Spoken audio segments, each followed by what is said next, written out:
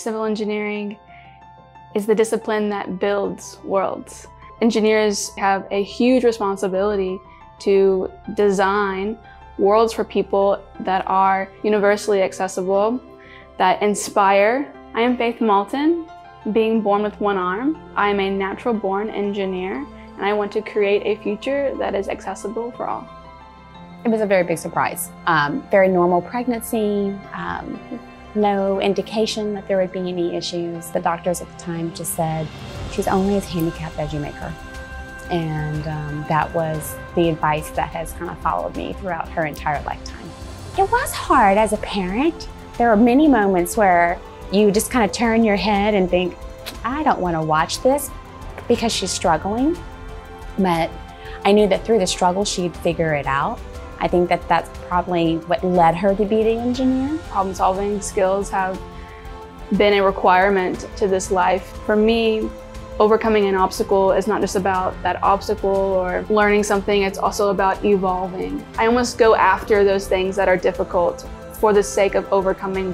One of my philosophies that I carry with having one arm completing tasks is to make things look as if those tasks were meant to do with one arm, that you didn't need two arms to complete that task. When people see me struggle, I feel the energy of pity or, oh, poor thing. And for me, pity dehumanizes a human. It takes away their dignity. I feel a responsibility to be the superhero to my own story, to correct that stigma.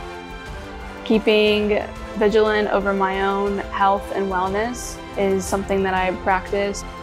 Training, food, always engineering myself if I can be the very best that I can be, I believe that that will be a message to the world. You can propel yourself in whatever direction you want and you can go as far as you want, but you have to do the work and you have to believe in yourself.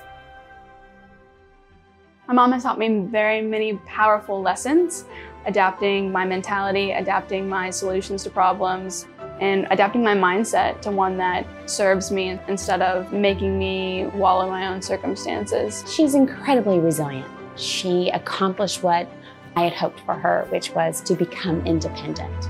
My goal is to be the role model that I needed when I was a kid. The best way to lead is by example. It's my time to really cultivate problem solving skills and the ability to take variables take knowns and unknowns and find solutions. And that system allows someone to find solutions in their own personal life as well as in engineering. That's sort of the underlying thread that I apply to health, fitness, and my career. I really wanted to go through parenting her. If something were to happen to me, could she make it on her own? And I, I feel confident that she could if I wasn't here.